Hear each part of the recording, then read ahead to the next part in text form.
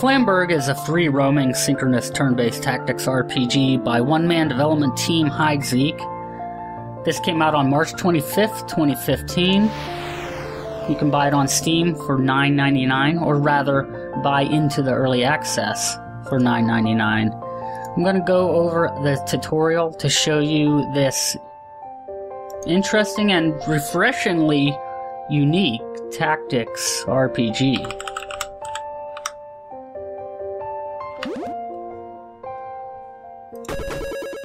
Now, what I mean by synchronous turn based tactics RPG is that we're a lot of uh, recent games on Steam, the likes of Dungeonmans, Dungeons of Dredmor, and Tales of Maj'Eyal, and other games like that. They use simultaneous or synchronous turns. That's where you, when you move, the enemy moves, or when you attack, the enemy also attacks. This game also has an amazing soundtrack, I think. Great pixel art style. To sum it all up, overall, I feel that Flamberge is. It's really a strong candidate to be one of those refreshingly unique RPGs that, like you usually see published by AAA publishers like Atlus and NIS. So here we are in our tutorial and we're learning we can hold shift to move around, we can use these buttons in the top right to zoom in. This is the max zoom level. Here we can zoom out, the max zoom out level. So we'll get straight away into movement. So in order to be free roaming, let me just show you this right off the bat.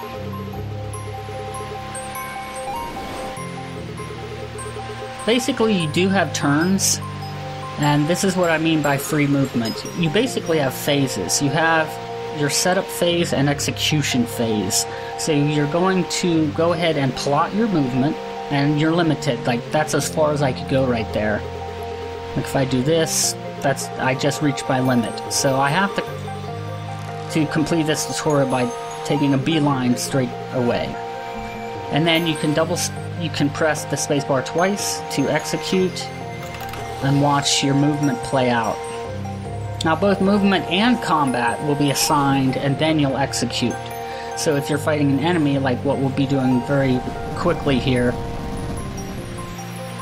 we will set up our movement and attack and then execute and that's when we'll see what the enemy does. So we can head towards them, get prompted to select our first ability, starting ability of Charge.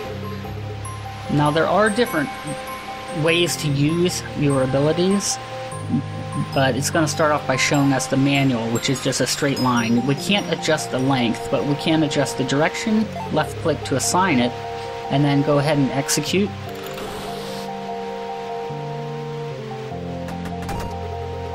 And we just did our first attack.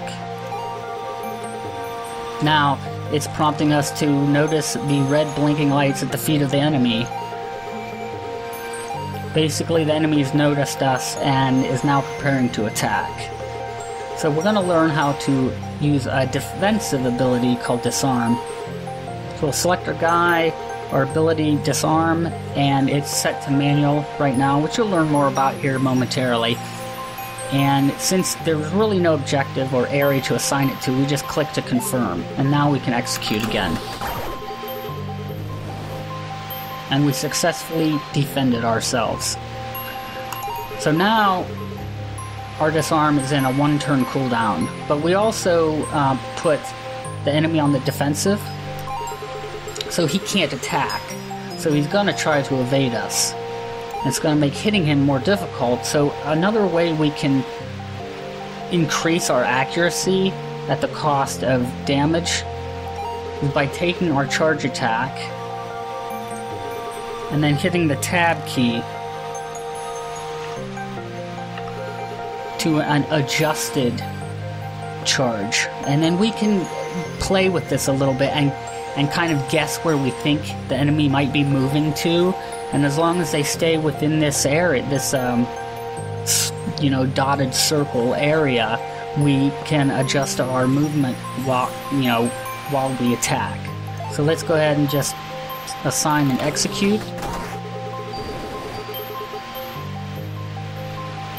Now, the adjusted does deal less damage, but we get higher accuracy. Now, what we're going to learn here is uh, how to deal with a surprise attack. And we can don't we don't want to move, but we can select our charge and then tab until we get to the auto. And it's just basically one giant AoE we cannot affect, but we'll lock it in and go ahead and execute.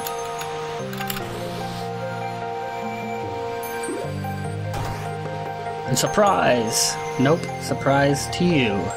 So auto deals less damage but allows us to wait for targets and hit them accurately. Now we're going to test our mettle a little bit here with what we've learned so far. Now we see that he's preparing to attack, so we'll go ahead and disarm and do a manual disarm.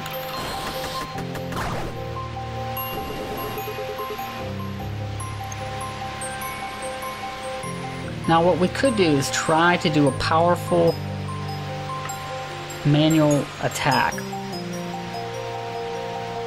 But he might move out of the way, we might miss. We got lucky. On the defensive again. Disarm again. Now, he's farther away, he might end up trying to circle around us, so I'm actually going to to choose a uh, an adjusted charge here. And that might have paid off for us.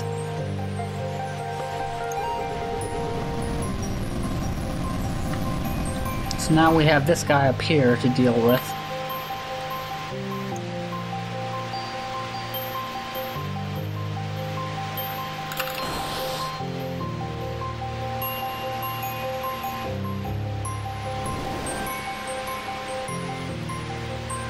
Let's go ahead and try for an well, let's try for a more powerful straight charge.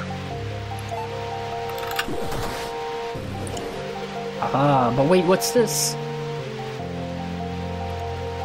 So this is an RPG, so what you're going to do is you're going to actually grow your character in an RPG-like fashion and learn new abilities and get multiple party members. So this this um, movement and attacking at once feels simplistic but intuitive, and I think it has a lot of room for growth and complexity. By having multiple characters, you'll have multiple enemies. You won't really know their behavior. So I think it, it leaves for a lot of fun gameplay. So our archer here going to get some practice. She starts with shoot and dodge, and it's telling us to go ahead and shoot, and we're going to do a straight, straight shot to do the most damage, not adjusted.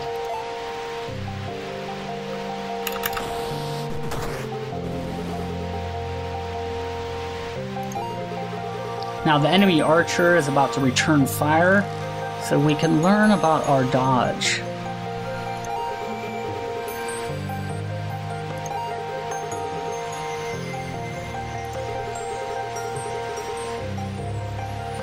Now it is telling us dodge is successful regardless of direction. Click in any direction to set the movement.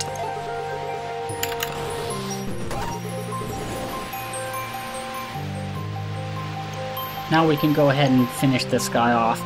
Now he actually might move, so I'm thinking an adjusted attack is in order. And we were right.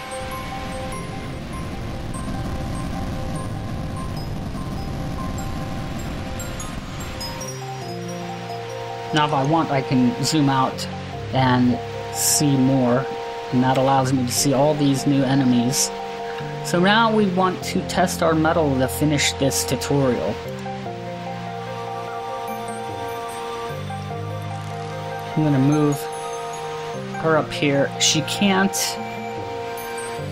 shoot this turn. She has to do cooldown, so I'm just moving them. I'm gonna move him as well and go ahead and just execute.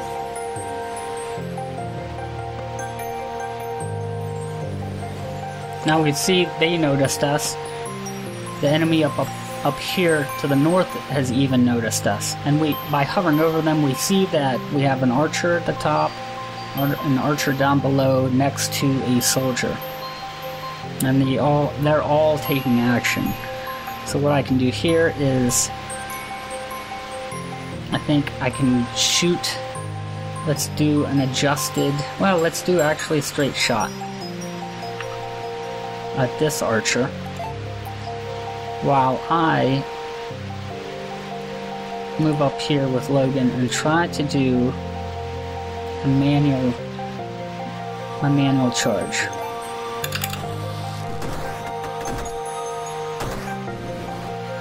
Now our Marine's okay. Logan did suffer a little bit of damage, but we took those two out. Let's start moving up here. But I'm also going to dodge just in case with him. And I'm going to... Let's see, let's see if we can move and disarm.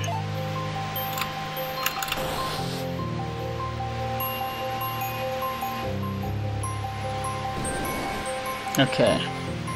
Nothing happened, but we still have to be on the defensive here. Now that's an archer. So I think she could stand to go ahead and let's do an area adjusted attack. And he cannot disarm. Unfortunately, I wasted my disarm for that turn. So let's go ahead and do an adjusted attack. Ah, we we uh, did okay. She did indeed take damage, but I think we're okay. Now we just need to.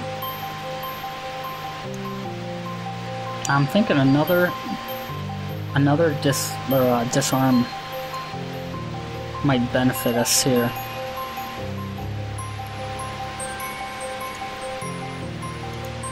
And maybe another dodge.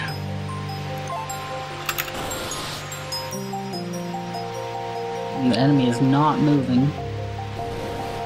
But now they've noticed us. And that is a soldier, it's not an archer, so we're not dealing with ranged attacks. So what I'm going to do with him, uh, I've used up my disarm, unfortunately, and he's got two health. I'm going to cancel that. I'm actually gonna actually gonna move a little bit. I'm guessing he's trying to move way down right towards Logan. So I'm going to do actually let's do this. Let me see if I can do this now that I've moved.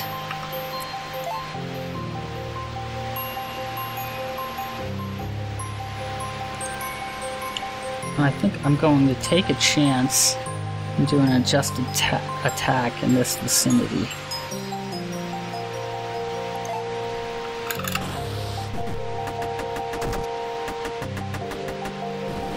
Hmm. So you can see how this this plays out strategically and tactically. We're doing fairly well. We'll just keep at it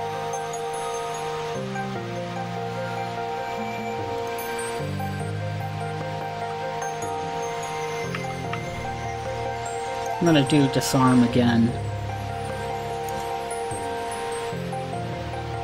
Well, she cannot attack, so I'm gonna dodge just in case that he's gonna go after her.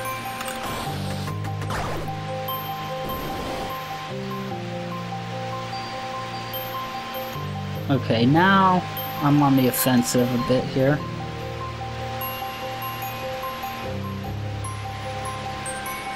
He might go after me or her, so I'm gonna adjust the territories to in between us a bit.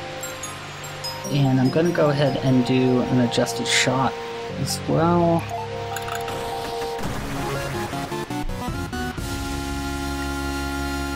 There we go. We get an, a, a great little victory screen too, with some terrific music as well. Once again, to go over this a bit, the the this is early access and it has a long development cycle, but the developer's been upfront about that. Prices again, $9.99 US on Steam. Has terrific music. There is a lot of polish in it, even though it's in a very early access and long cycle. And there is there is a lot of playability that's currently in the game. There's multiple levels, a lot of polish. You just saw the really nice tutorial. We can also take a quick look at some more of the screens and maps. Now we can't scroll this screen around. What we can do is hit escape to kind of get our character view. We can kind of take a look at our level, our stats, and we also will be getting items we can uh, equip. There's weapons, accessories, consumables, key items. So, definitely an RPG that I think is worth looking into. Uh, it's very interesting to me. I really like it. And again, I, uh, I can't say enough. The uh, it's it's this refreshing, unique RPG that I would really expect to find published by Atlus or NIS or or like publishers. So that's it for this tutorial. If you like what you saw or didn't like or have any questions or comments, let me know on my YouTube video. That's my YouTube channel, StratX Gaming. You can find me on Twitter, StratX Gaming. This will also be accompanying a more robust article on zero-friction.net, my retro and indie gaming website. So you can head over there to read much more about the game and join the discussion over there. And I'll see everybody in the next video.